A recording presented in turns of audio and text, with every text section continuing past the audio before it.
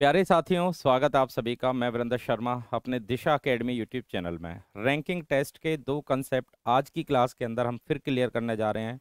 लगातार इसी तरीके की क्लास आपको डेली मिलेंगी रीजनिंग के अंदर और इन्हीं क्लासेस की मदद से आप पूरे कंसेप्ट हर टॉपिक के क्लियर कर सकते हैं। क्योंकि आपके अगर सारे कंसेप्ट क्लियर है तो फिर टॉपिक करने में आपको बहुत आसानी हो जाएगी। तो शुरुआत करते हैं आज की क्लास। आज की क्लास का पहला सवाल आपके सामने हो चुका है। पिछली क्लास आपने ज़रूर वॉच कर ली होगी। आशा करता हूँ क्योंकि पिछली क्लास के अंदर आपको दो कंसेप्ट मैंने क्लियर कराए थे। अगर किसी भी व्यक्ति की पोजीशन दोनों साइड से पता होती है, दोनों पोजीशन को जोड़कर हमेशा एक घटाते हैं। सेकेंड कंसेप्ट आपका था, अगर टोटल आपको दिए जाएँ और एक पोजीशन बाएँ या दाएँ से दी जाती है तो दूसरी तरफ़ से आप अपनी पोजीशन फाइंड कर सकते हैं। चलिए, अब अगला अपना कंसेप्ट नंबर तीन को आज क्लियर कर लेते हैं। देखिए, लड़कों की एक पंक्ति में ए जो बाएँ से दसवा स्थान है। ए को बताया जा रहा बाएँ से दसवा स्थान है। अब हमने ये पंक्ति मान ली। बहुत आराम से देखना है। सारे पॉइंट आपको क्लियर कराऊँगा मैं। ये हमारी बाया बाया पक्ष है और ये वाला साइड आपका राइट साइड है, दाया पक्ष है। क्वेश्चन में लिखा हुआ है एक पंक्ति में ए, की पोजीशन बाएँ से दसवीं है। चलिए ठीक है। बी की पोजीशन दाई तरफ़ से नौवीं है। ये बी मान लिया और इसकी पोजीशन दाई से नौवीं है। इसके बाद बोला गया क्वेश्चन में कि अगर ये दोनों अपनी पोजीशन को इंटरचेंज कर लें, अगर ये दोनों अपनी पोजीशन को इंटरचेंज कर लें, यानी ए की जगह बी आ जाए और बी की जगह ए आ जाए, दोनों अपनी पोजीशन को इंटरचेंज करेंगे तो यहाँ बी आ गया और इस साइड आपका ए आ गया। इंटरचेंज करने के बाद ए का पोजिशन बाएँ तरफ़ से पंद्रहवीं हो जाती है। चलो जी, पंद्रहवीं होगी। अब इस क्वेश्चन को अगर आप ध्यान से देखेंगे तो आपको एक पॉइंट क्लियर होगा, क्योंकि जब भी इंटरचेंज करने वाला सवाल आएगा तो इसमें एक ऐसी पोजीशन आपको ज़रूर मिलेगी, जिसकी, जिसका स्थान आपको दोनों तरफ़ से पता हो। तो इस क्वेश्चन में बस आपको ये देखना है कि हमने ये वाला पोजीशन देखा, ये वाली पोजीशन इस साइड से नौवीं बता रहा है और यही पोजीशन दाई तरफ़, बाई तरफ़ से पंद्रहवीं बता रहा है। अगर कोई भी पोजीशन दोनों तरफ़ से पता हो तो कल की क्लास में भी मैंने बोला था, दोनों नंबर को प्लस करिए और एक आपको घटा देना है। एक इस वजह से घटा दिया कि एक ही पोजीशन उस साइड से भी जुड़ गई और एक ही पोजीशन दूसरी साइड से भी जुड़ गई। जुड़नी एक बार थी और जुड़ गई दो बार। ठीक है? तो आप दोनों को जोड़ के एक घटाइए। तो 24 और 24 में से एक माइनस करेंगे तो इस क्वेश्चन का आंसर आएगा 23 तो ये इंटरचेंज वाला सवाल है। इसी टाइप का मैं एक क्वेश्चन आपको और क्लियर करा देता हूँ। ये वाला देखें आप।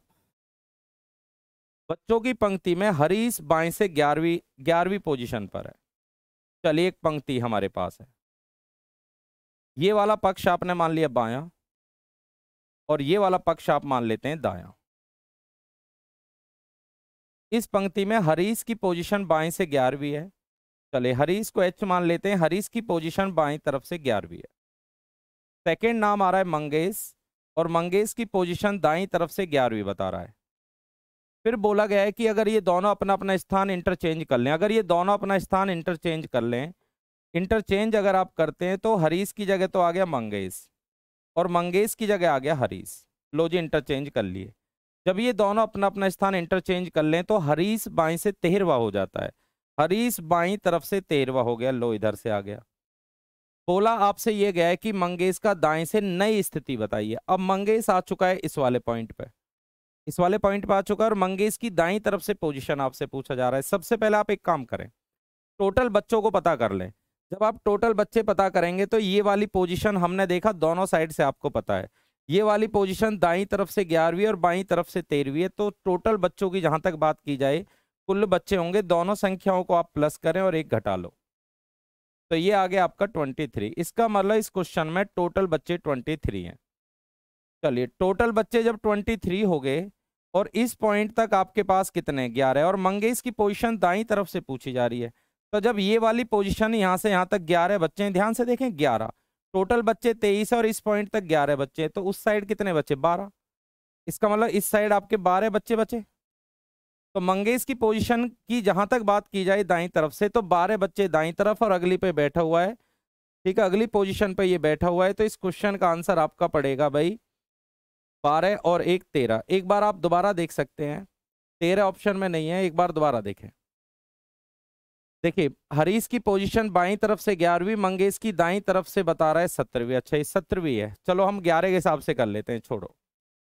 हमने ग्यारह के हिसाब से कर दिया क्वेश्चन ठीक है, ग्यारह के हिसाब से हमने कर दिया। इसकी बाई तरफ़ से ग्यारहवीं पोजिशन है और इसकी दाई तरफ़ से ग्यारहवीं पोजिशन है। दोनों अपने अपने स्थान इंटरचेंज कर लें। बदलने के बाद क्वेश्चन में लिखा हुआ है कि हरीश का बाएँ से तेरहवा स्थान हो जाता है। चलो, ये भी ठीक है। तो जहाँ तक टोटल बच्चों की बात की जाए, दोनों को प्लस करके घटा लें। चौबीस में से एक गया तेईस टोटल बच्चे तेईस हैं।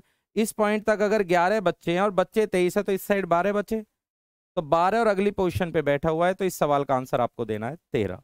चलिए, अगला क्वेश्चन हम डिस्कस करते हैं, ये वाला। लड़कों की एक पंक्ति में रवि बाएँ से तीसवा है और दाई तरफ़ से बारवा है और प्रवीण दाई तरफ़ से सत्रवा है तो रवि और प्रवीण के बीच में बच्चे कितने इस बार देखिए इंटरचेंज नहीं हुआ, ये अगला टाइप आ चुका है। जब इंटरचेंज नहीं हुआ तो इस क्वेश्चन में बच्चे पूछे जा रहे हैं दोनों के बीच में। तो एक काम करते हैं, एक लड़के की पोजीशन आपको दोनों साइड से पता है। किसकी? रवि की पोजीशन बाएँ से भी पता है और रवि की पोजीशन दाएँ से भी पता है। तो टोटल बच्चे आप निकाल सकते हैं। दोनों संख्याओं को प्लस करके एक घटाएँ। पर आप एक काम करें, प्रवीण की पोजीशन भी दाएँ से पता है और रवि की पोजीशन भी दाएँ से पता है। अब रवि की पोजीशन दाएँ तरफ़ से तो बारहवीं है। रवि दाएँ से बारहवीं पोजीशन पर है। और प्रवीण दाई तरफ़ से सत्रहवीं पोजीशन पर है। जब रवि दाई तरफ़ से बारहवीं पोजीशन और प्रवीण सत्रहवीं पोजीशन पर है, अगर किसी भी लड़के की पोजीशन चाहे दाएँ से पता हो या बाएँ से, हमने दोनों लड़कों की पोजीशन दाई तरफ़ से पता कर ली और जो कि क्वेश्चन में दी हुई है।